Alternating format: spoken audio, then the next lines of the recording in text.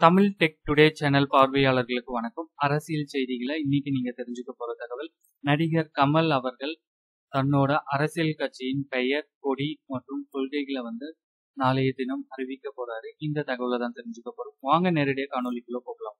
நடிகர் கமலஹாசன் அவர்கள் நாளைய தினம் தன் அரசியல் பயணத்தை துவங்குகிறார். தான் பிறந்த ஊரான ராமநாதபுரம் மாவட்டத்திலிருந்து இந்த அரசியல் பயணத்தை துவங்குகிறார். முன்னாள் ஜனாதிபதி A P J Abdul Kalam அவர்களின் இல்லத்தில் துவங்கி மதுரையில் பிரம்மாண்ட கூட்டத்தில் தன்னுடைய கட்சியின் பெயர் கொடி மற்றும் சின்னங்களை அறிவிக்க இருக்கிறார் கமலஹாசன் அவர்கள். இந்த கூட்டத்தில் பங்கேற்க பல தலைவர்களுக்கு அழைப்பு விடுக்கப்பட்டுள்ளது. டில்லி முதல்வர் அரவிந்த் கெஜ்ரிவால் மேற்கு வங்க முதல்வர் மம்தா பானர்ஜி ஆகியோர் பங்கேற்பதாக தகவல்கள் வெளியாயிருக்கு. இந்நிலையில் இந்த கூட்டம் தொடர்பாக கமல் அவர்கள் தன் ட்விட்டர் பக்கத்தில் கூறியிருப்பதாவது நாளைய தினம் அதாவது பிப்ரவரி இருபத்தி ஒன்று ரெண்டாயிரத்தி பதினெட்டு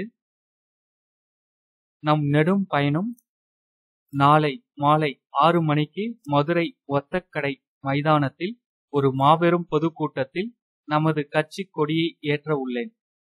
புதிய கட்சி புதிய கட்சியின் பெயரையும் எமது கொள்கையின் சாராம்சத்தையும் விளக்க உள்ளேன்.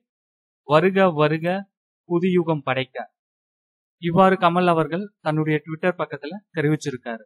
நீங்க சொல்லுங்க கமல் அவர்களோட பொதுக்கூட்டத்துக்கு நீங்க போவீங்களா? உங்களுடைய ஆதரவு யாருக்கு? உங்களுடைய கருத்துக்களை மறக்காம கமெண்ட் பண்ணுங்க. இந்த தகவலை உங்களுடைய நண்பர்களுக்கும் ஷேர் பண்ணுங்க. சேனல் பிடிச்சிருந்தா சப்ஸ்கிரைப் பண்ணுங்க. நன்றி வணக்கம்.